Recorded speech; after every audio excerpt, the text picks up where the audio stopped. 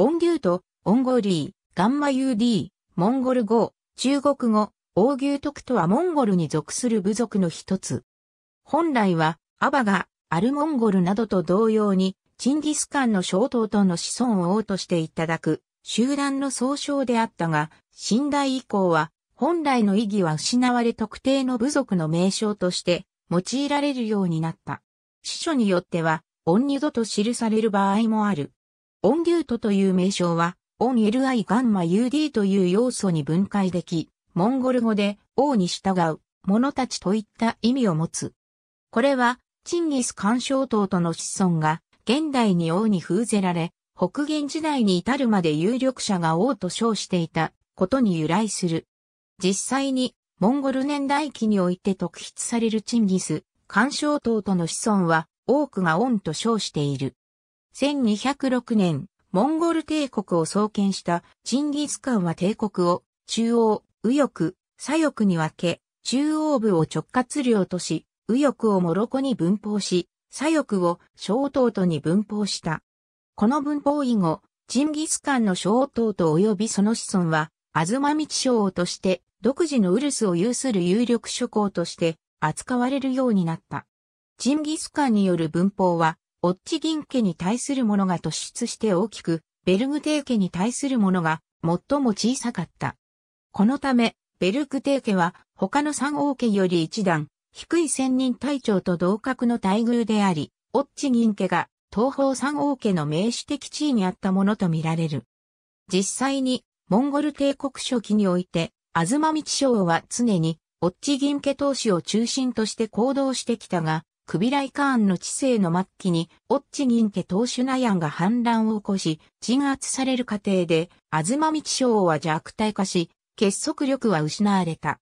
ナヤンの乱以後、天略の内乱では、西欧オルクテムルが、両王徳トアを殺害するなど、各王家が独自の行動を取るようになった。元松名書記、アズマミチ将の中で司書に名を記される、有力者として、オッチ銀家の領をアジャシュリがいた。しかしウスハルハーンの死をきっかけに、アジャシュリは1386年明朝に基準し、その配下の部州は、枝岩栄、大ネイ守る、福余り守に組織され、ウリアンハイ三栄と総称された。ウリアンハイ三栄は、モンゴル側からそれぞれウリアンハイ、オンリュート、オジェートと呼ばれていたことが記録されているが、大ネイ守るが、オンリュートと称されているのは、オッチギンの子孫で王であるアジャシュリ及びその子孫が、タイネイ守るを統治していたためとみられる。ウスハルハーンの死後、モンゴリアでは、モンゴル部族連合とオイラト部族連合が争う時代が到来し、オンリュートは、モンゴル側に属してオイラトと戦った。明朝で永楽帝が即位すると、積極的に北方に進出し、新たにカチュン末の門家茶岩のヤンや、占い、脱艦営が明朝に基準している。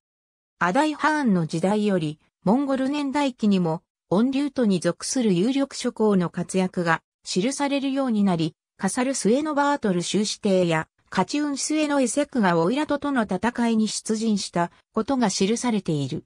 オイラトのエセンによる短期間の統一と、その崩壊後、音流と諸部族が活発に活動する時代が訪れた。エセンの死の直後より、音流都内では、ベルグテースへの毛利杯音が流星し、モンゴル年代記では、音流都の毛利杯と称された。毛利杯と同時期にハラチン部のボライ大使が、マルコルギスハーンを擁立して有力となっていたが、やがて、ハーンとボライの仲が決裂するとカチューン末の動乱、大治がボライと組んでマルコルギス・ハーンを殺害した。これを受けて、モーリハイは、ボライを殺害し、新たに、モーラン・ハーンを擁立したものの、モーリハイもまたハーンを襲逆してしまったためかさる末の、聖ウォーボル内によって殺された。約10年にわたる空位時代の後、ベグ・アルスラン大使と組んで即位したマンドゥールン・ハーンは、動乱大使を殺してその配下の集団を参加に置き、これが後のトゥメトブの母体となった。マンドゥールン・ハーンの死後にはその遺産を受け継ぐことを狙ってボルナイの弟ウネ、ボラトがマンドゥールンの未亡人であるマンドフィ・ファトンに求婚したが、マンドフィはバトモン家と結婚してこの求婚を拒絶した。このウネボラとの行為は、後世のモンゴル人士家の非難を受けており、アルタンハーン伝では、ウネボラとのことを、悪心ある、オンデュートと称している。マンドフイハトンとの結婚によって、マンドゥールンハーンの遺産を相続し、ハーンに即位したダヤンハーンは分裂していた、モンゴル諸部族の再統一に着手した。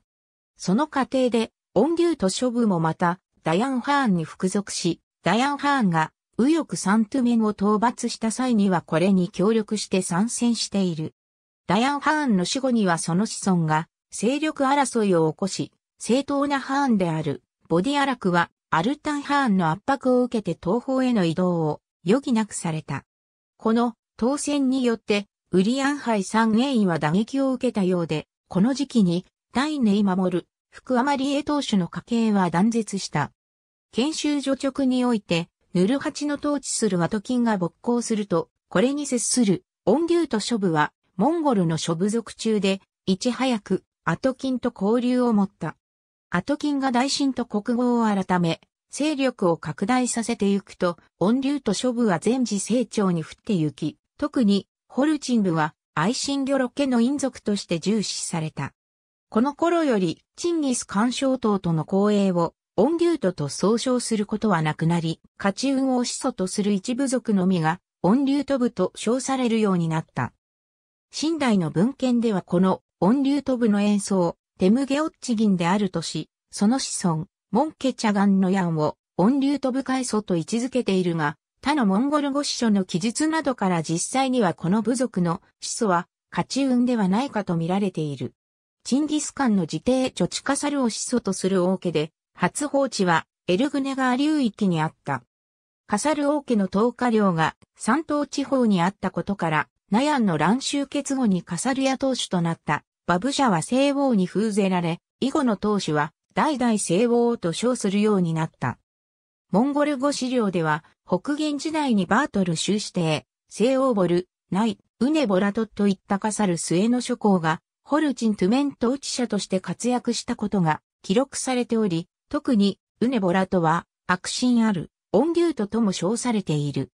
北元時代を通じてカサル王家はオンデュートの中で最も繁栄し、寝台に至るまでホルチン部の他にゴルロス部、ドルベト部、ジャライト部、ホシュート部といった多数の部族を輩出した。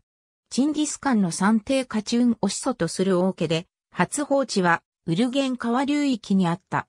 現代には最南路を投下領としていたため、カチュン末のエジルが最南王に封ぜられていた。元松明初期の動向は不明であるが、永楽帝がモンゴリアに進出すると、カチウンの公営であるモンケチャガンのヤギや、占い、脱艦営がこれに基準した。モンゴルでは、モンケチャガン以後、北元時代におけるカチウンの公営は、チャガントゥメンと称されるようになった。エセンハーンの没後には、カチウンスエで、占い、脱艦営に属する動乱退治が有力となり、彼の率いていた集団は、後のトゥメトブの母体となった。動乱退治は、明朝の資料において、帝王と称されているが、これは、モンゴル文字で記された、最南王を明朝が訳し間違えたものとみられる。清代に至って、カチウンの公営も、また清朝に基準し、オンニュドバタに組織された。中華人民共和国の行政区画であるオンニュドハタは、このオンニュドバタの後ろ身である。チンギスカンの四帝テムゲオッチ銀を始祖とする王家で、初放置はフルンボイル地方にあった。オッチ銀王家は、アズマミチ省の中では、最大の文法を受けており、ナヤンの乱に至るまで、アズマミチ省の名手的地位にあった。ナヤンの乱鎮圧後、新たに、オッチ銀家当主となった徳と愛後、オッチ銀家当主は、両王と称するようになった。民発に、両王アジャシュリが明朝に基準するとオッチ銀王家、率いる武州は、ウリアンハイ三英に組織され、アジャシュリ自身が属するタイネイマモルは、モンゴル側からは、オンリュートと称された。また、ウリアンハイ山エイハヒンガン山脈の山陽側に位置していたことから、モンゴル側より山陽の6000を J と、あるいは、ウルゲトゥメンと呼ばれていた。15世紀半ばのタイネイ・マモルトーモクーネテムルは、竜王の訳し間違いと見られると称しており、この時期までは、オッチギン家は存続していた。しかし、ボディアラクハーンが当選した際に、オッチギンを始祖とする、タイネイ守る当主の家系は断絶したものとみられ、以後は、アルチボラトを始祖とする、ジャルート部が、タイネイ守る頭目を称するようになった。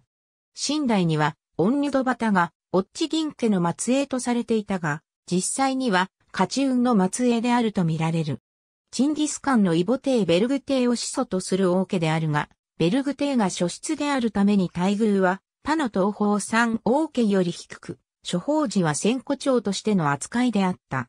現代には、両世の高安氏一帯を領地としていたため、ジャウドゥラが高安氏王に封ぜられていた。エセンハーンの死後、ベルグ帝の子孫である、毛利杯が勃興し、温流都内で最大の勢力となった。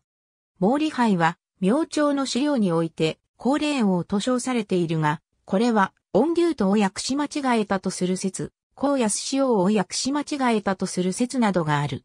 また、毛利杯をはじめとして、北元時代にベルグ帝末が率いていた集団は、イエケウルス、あるいはイエケトゥメンとも呼称されていた。清代に入ると、ベルク帝王家は、アバガ部、アバガナル部として、清朝の統治下に入った。バイアンデルジャー、2ページ岡田、210ページ吉田、224から225ページ岡田、234の235ページ、バイアンデルジャー、3ページバイアンデルジャー、7から10ページ。ありがとうございます。